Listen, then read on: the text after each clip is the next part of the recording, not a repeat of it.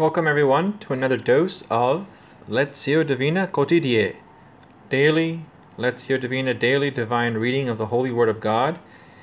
Uh, today's readings are from uh, Ascension Thursday, the solemnity of the ascension of our Lord Jesus Christ to heaven. So as you can see, I'm on a pretty uh, tight budget. I don't have anything fancy going on here. It's just my phone and my voice uh, because I really don't have the time to do anything too um, overproduced. Maybe in the future if, if this takes off, but the whole point is just to informally uh, share the Word of God with my subscribers or anyone who happens to stumble upon these videos and hope that somehow uh, the Holy Spirit speak to to you or to anyone watching this video um, in in his or her own in, in, in, to speak in a unique way to each person viewing this video. All right, so let's just jump into the first reading. In the first book, Theophilus, I dealt with all that Jesus did and taught until the day he was taken up, after giving instructions through the Holy Spirit to the apostles whom he had chosen. He presented himself alive to them by many proofs after he, after he had suffered, appearing to them during forty days and speaking about the kingdom of God. While meeting with them, he enjoined them not to depart from Jerusalem, but to wait for the promise of the Father about which you have heard me speak. For John baptized with water, but in a few days you will be baptized with the Holy Spirit. When they had gathered together, they asked him, Lord, are you at this time going to restore the kingdom of Israel? He answered them, It is not for you to know the times or seasons that the Father has established by his own authority. But you will receive power when the Holy Spirit comes upon you, and you will be my witnesses in Jerusalem, throughout Judea and Samaria, and to the ends of the earth. When he had said this, as they were looking on, he was lifted up, and a cloud took him from their sight. While they were looking intently at the sky as he was going, suddenly two men dressed in white garments stood beside them. They said, Men of Galilee, why are you standing there looking at the sky? This Jesus, who has been taken up from you into heaven, will return in the same way as you have seen him going into heaven. The word of the Lord. Thanks be to God. Deo gratias. Let's respond with the holy word of God by praying this psalm. God mounts his throne to shouts of joy, a blare of trumpets for the Lord. All you peoples, clap your hands, shout to God with cries of gladness. For the Lord the Most High, the Awesome, is the great King over all the earth. God mounts his throne to shouts of joy, a blare of trumpets for the Lord. God mounts his, God mounts his throne amid shouts of joy, the Lord amid trumpet blasts. Sing praise to God, sing praise, sing praise to our King, sing praise. God mounts his throne to shouts of joy, a blare of trumpets for the Lord. For King of all the earth is God. Sing hymns of praise. God reigns over the nations. God sits upon his holy throne. God mounts his throne to shouts of joy, a blare of trumpets for the Lord. Second reading. This is one of my favorite readings. Brothers and sisters, may the God of our Lord Jesus Christ, the Father of glory, give you a spirit of wisdom and revelation, resulting in knowledge of Him. May the eyes of your hearts be enlightened, that you may know what is the hope that belongs to His call. What are the riches of glory of His inheritance among the holy ones, and what is the surpassing greatness of His power for us who believe? In accord with the exercise of His great might, which He worked in Christ, raising Him from the dead, and seating Him at His right hand in the heavens, far above every principality, authority, power, and dominion, and every name that is named, not only in this age, but also in the one to come. And he puts all things beneath his feet. He put all things beneath his feet and gave him as head over all things to the church, which is his body, the fullness of the one who fills all things in every way. Okay, so I'll skip the shorter reading and just keep the longer one. You're more than welcome to read the other uh, versions of the readings. Alleluia, Alleluia. Go and teach all nations, says the Lord. I am with you always, until the end of the world. Alleluia, alleluia. Peace be with you. The Lord be with you. A reading from the Gospel according to Mark. Glory to you, O Lord. Jesus said to his disciples, Go into the whole world and proclaim the gospel to every creature. Whoever believes and is baptized will be saved. Whoever does not believe will be condemned. These signs will accompany those who believe. In my name they will drive out demons. They will speak new languages. They will pick up serpents with their hands, and if they drink any deadly thing, it will not harm them. They will lay hands on the sick, and they will recover. So then the Lord Jesus, after he spoke to them, was taken up into heaven, and took his seat at the right hand of God. But they went forth and preached everywhere while the Lord worked with them and confirmed the word through accompanying signs. The gospel of the Lord. Okay, um, thanks to uh, someone who suggested that I not scroll so fast when sharing the reading, so I'll make sure that whatever reading I'm talking about happens to appear on the screen. I do apologize for my uh, erratic scrolling. Um, I'm still getting used to doing this.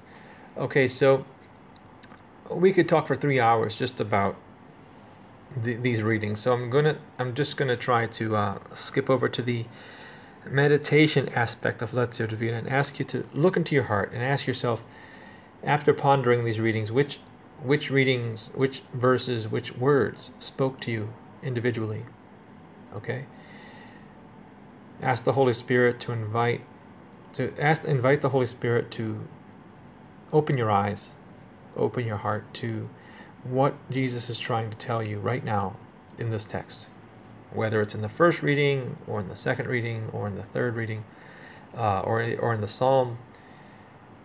Uh, as for me, I, I spent a good deal of time meditating on this. I thought that I would um, the I would share a an excerpt from one of the greatest teachers um, of the 17th century, one of the greatest priests of that era, um, a leader of what is known of, as uh, the French School of Spirituality. His name was uh, Jean-Jacques Olier, Father Olier.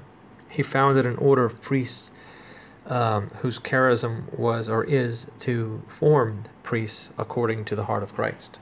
They have a very powerful charism. Um, you don't really see them much because they're usually in seminaries.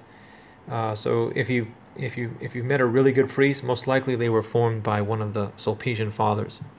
My spiritual director for two years was a Sulpician father, and I, I, I treasure every moment that I had.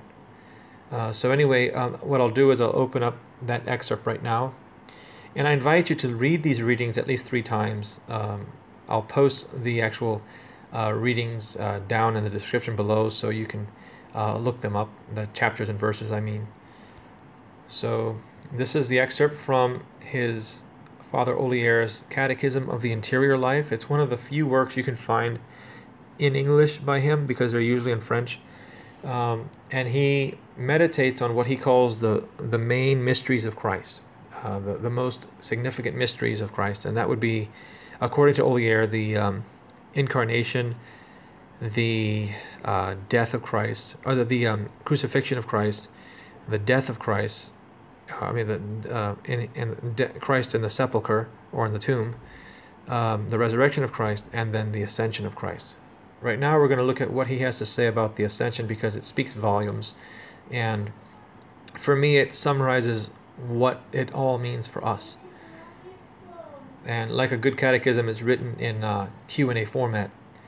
So it says, um, of the mystery of the ascension of our Lord, and of its of its grace and state which is that of the perfect. What is then the grace and state of the mystery of the ascension? The answer it is a state of perfect transformation into God, a state of triumph and glory, a state in which nothing infirm any longer appears. In other words, whatever makes human life miserable, it's gone. Whatever, whatever, whatever uh, whatever part of Jesus' humanity experienced pain was gone. Did any infirmity appear in our Lord after his resurrection? He still had, he had still some marks of it. Make sure everybody can see that. top of the page there, and seemed occasionally to despoil himself of the perfect glory of his consummation in God and of his total resemblance with his Father. He still rendered his humanity occasionally palpable and visible to the eyes of his apostles. In other words, he was able to make his humanity visible, and of course, he still bears the wounds of his crucifixion for um, for his own purposes. He would still eat with them. You know, Jesus was able to walk through the walls, walk through walls, and consume food at the same time. Great mystery. But after the day of his ascension, pay attention here. After the day of his ascension, his glory no longer suffered any interruption or suspension. The sight of it was no longer supportable to the eyes of men. Having entered into the splendor of God his Father, he now lives hidden in his bosom and no longer falls under our senses. And although he still preserves the qualities of human nature, he does not subject them any longer to our infirmities. So the days of Jesus' physical suffering, as he did in his humanity, are gone. This has a lot to do with us and what, what awaits us. He has become a vivifying spirit, having perfectly entered into a participation of the nature of his Father, glorious, spiritual, all powerful, so that he even sends with him his Holy Spirit and participates in the fecundity of the Father. To communicate his the Spirit without. Let's read that again. He has become a vivifying spirit, having perfectly entered into a participation of the nature of his Father, glorious, spiritual, all powerful, so that he even sends with him his Holy Spirit and participates in the, in the fecundity of the Father to communicate his Spirit without. For as the eternal Word, infinitely one with his Father, by an interior and identical principle, produces the Holy Ghost with him and in him, so Jesus Christ our Lord, who is exterior to God by his human nature, in uniting himself to him and entering into perfect unity with him, produces the Holy Ghost, whom he sends with him to his apostles. He enters into him and produces the Holy Ghost, whom he sends with him to his apostles. And in this consists the admirable wonder of the mystery of the ascension. Hence, at the time when a soul enters into this in the state of the, the at the time when a soul enters in the state of the divine ascension of our Lord, it receives the participation of his divinity, as the church sings after the holy apostle who says, that we are made partakers of the divine nature. That's in the Divinae Consortes Naturae. That's from um, the letter of St. Peter. Okay, a truly wonderful state. See that right there, page 142. A truly wonderful state of the soul, rendered interiorly conformable and wholly similar to God, and as the saints say, perfectly deiform. That is, all glowing with love and luminous with the splendor of God. The soul in this state does not fall any longer from its union with God, to descend to the wretched condition of human infirmity. It no longer yields to passion or self love, no longer allows itself to be transformed into the creature, no longer permits in itself the love of perishable things, which makes one see himself in them and them in him, and thus causes him to lose the perfect resemblance with God and his adorable Son ascended into heaven. Here we are. Where being now himself transformed and consummated in his Father, he draws us gently to the same transformation and consummation. In a nutshell, he, Jesus, draws us gently to the same transformation and consummation. It is for this reason that he said to Magdalene, Do not touch me, for I am not yet ascended to my Father. Wait until I am in that state in which I will draw souls to my Father and to the, and to the transformation into him. This is what he does in the most holy sacrament of the altar, in which, having entered in, into his power, he transforms souls into himself. You will not change me into you, but you will be changed into me. The soul, in the state of resurrection, ought to fear the attachment and even the approach of creatures for fear of being transformed into them and becoming a partaker of their vile being. Olier was not one to mince his words. Too bad we don't have teachers like this now. The state of the holy ascension then is the state of the perfect. I'm sorry, let me ask that with the with the right inflection. The state of the of the holy ascension then is then the state of the, the perfect. Yes, it is the state of souls that are already perfect and interiorly transformed into God, into whose being and life they have passed by virtue of a perfect and most intimate union. How truly admirable this union is! Yes, it is for this reason that the ascension of our Lord is called admirable, and that it makes souls enter a state of enter enter into a state of ineffable sanctity. Tell me something more of it to make me still more desirous of attaining it. The soul in this state is impenetrable, impenetrable to the attacks of the world. It is no longer susceptible to the imperfection of creatures. It is entirely separated from the, the profane being. Next page. It possesses a divine peace and repose, and is immovable in its interior. To a soul in this state we may safely apply these words There shall, there shall no evil come to thee, nor shall the scourge come near thy dwelling. That's from the Psalms. Non accedit ad malum, et flagellum non, non appropinquabit tabernaculo tuo. That's at the bottom, Psalm um, Yeah. This state is one of admirable purity, one in which the soul has no longer any union with profane things. It sees its old man and its flesh change and alter, but always intimate and interior with itself.